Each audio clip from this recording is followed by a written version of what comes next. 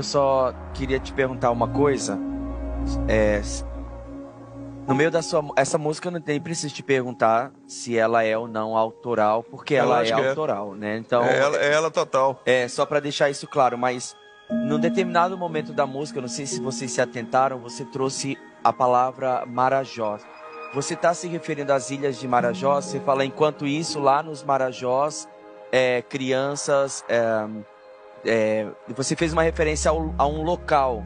Tem alguma história por trás disso? Porque isso, isso despertou muito forte. Eu acho que tem alguma experiência que você ouviu ou ouviu que marcou teu coração e você trouxe isso para essa música. Eu estou errado? É... Marajó é uma ilha uhum. a alguns minutos de Belém, né, na minha terra. E lá as crianças de.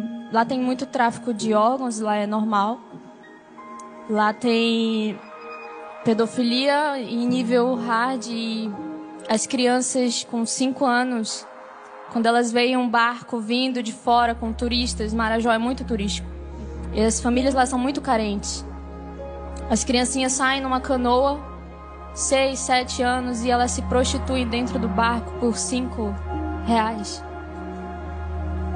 Deus do céu. É, essa é a verdade do mundo, velho. Essa é a verdade do mundo que muitos gostam por não ter coragem de cantar.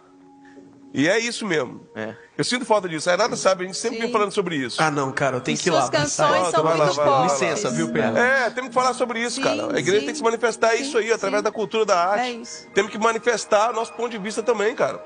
O protesto faz parte da arte, da música, Jesus, e é isso. Jesus é me fala que às vezes nós cristãos nós terceirizamos muito para o governo, é que é de responsabilidade nossa. É isso mesmo. Como cristão. Eu te dar um abraço. Vamos ver. Uau. E a Bíblia ainda diz, né, para nós ministros Obrigada. cristãos, aquele que pensa que está de pé. Você é muito criativa, as suas canções são muito fortes, você tem uma doçura que prende a atenção a sua, as suas músicas, elas vão para fora da igreja, entende? Você vai alcançar com a sua arte o mundo. E eu sei que através da sua mensagem muitas pessoas vão ser alcançadas. Então mantenha no seu propósito, continua escrevendo, continua trazendo isso, conta conosco.